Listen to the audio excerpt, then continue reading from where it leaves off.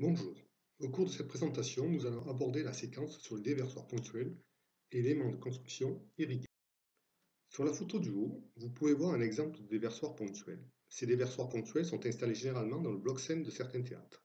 Ils permettent une inondation instantanée des locaux défendus par l'intermédiaire de têtes d'arrosoir ouvertes ou de diffuseurs d'eau pulvérisés. Les déversoirs sont commandés dans un théâtre par deux vannes, photo du bas, ou robinets de mise en œuvre situés l'un à l'intérieur du bloc scène à proximité d'une issue, l'autre à l'extérieur, à un endroit bien visible et facilement accessible. Ces matériels doivent avoir une résistance à la chaleur et les canalisations les alimentant doivent être maillées. L'ouverture d'une seule vanne des deux vannes de commande doit permettre l'inondation instantanée des locaux desservis par un déversoir ponctuel. Tous les déversoirs d'un même local doivent être commandés simultanément. La mise en œuvre de ces déversoirs est manuelle et non automatique. Une pression minimum de 0,5 bar et un débit minimum de 250 litres minute sont imposés par la réglementation au niveau des déversoirs en fonctionnement. Pour être alimentés, ces déversoirs sont soit installés sur une canalisation spéciale dédiée à cet usage, soit installés sur une canalisation alimentant également les RIA de l'établissement. Pour protéger les locaux, les déversoirs peuvent être remplacés par un système de diffuseur d'eau pulvérisé ayant un débit d'au moins 5 litres par minute et par mètre carré. Ce débit est admis en équivalence de celui requis pour les déversoirs. De même, il est impératif de pouvoir contrôler ces matériels à la réception des travaux, avant l'ouverture au public de l'ERP, puis lors des contrôles périodiques. Il s'agira de vérifier à la source d'eau le débit nécessaire pour la surface à protéger, mais également au niveau des diffuseurs, le débit réglementaire. D'après vous, dans quel type d'établissement va-t-on trouver ces déversoirs ponctuels? Je vous laisse chercher quelques instants.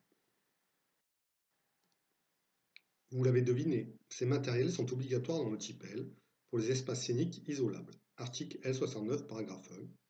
Déversoir ou système d'extinction de type déluge, diffuseur ouvert. Pour les déversoirs, la quantité d'eau minimale déversée par mètre carré et par minute doit être de 10 litres sur la totalité du plancher de Seine. Pour le système d'extinction automatique de type déluge, la quantité d'eau minimale déversée par mètre carré et par minute doit être de 10 litres par minute pour une surface impliquée correspondant à la surface totale du plancher de Seine à raison d'un diffuseur pour 9 mètres carrés. Les déversoirs peuvent être remplacés par un système d'extinction automatique de type déluge. Les diffuseurs de ce système sont ouverts en permanence, assurant le même taux d'application à raison d'un diffuseur pour 9 mètres carrés.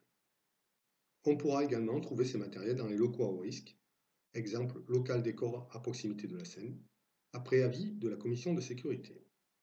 La séquence sur les déversoirs ponctuels est terminée. Nous allons voir maintenant les éléments de construction irrigués. Un élément de construction irriguée est une partie du bâtiment, cloisons, portes, rideaux, etc., protégée par des rideaux d'eau composés de canalisations munies de diffuseurs pour augmenter sa résistance au feu. L'alimentation et la mise en œuvre du dispositif sont définies par les dispositions particulières du règlement de sécurité, ou, à défaut, après avis de la commission de sécurité. Afin de pouvoir contrôler la pression et le débit dans la canalisation, alimentant l'élément de construction, toute disposition doit être mise en œuvre pour atteindre cet objectif.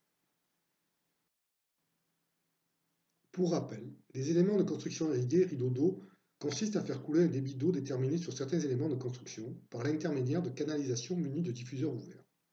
Cela a pour effet de donner ou d'améliorer le degré de résistance au feu de l'élément protégé, rideaux, portes, etc. La commande de ces systèmes peut être automatique et ou manuelle.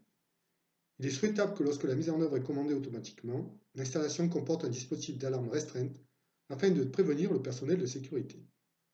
Sur cette photo, il s'agit du système d'irrigation à eau du dispositif d'obturation de la baie de Seine de l'Opéra Bastille. D'après vous, dans quel type d'établissement va-t-on trouver ces éléments de construction irrigués Je vous laisse chercher quelques instants. Dans le type L, on peut rencontrer un élément de construction irrigué. Il s'agit du dispositif d'obturation de la baie de Seine qui doit être refroidi par un système d'irrigation à eau. Article L63 et article L69. Dans le type T, on peut rencontrer aussi un élément de construction irrégulier. Il s'agit pour ces établissements de recouper les grands volumes au moyen d'éléments de construction irrigués ou non présentant un coup-feu de degré 2 heures.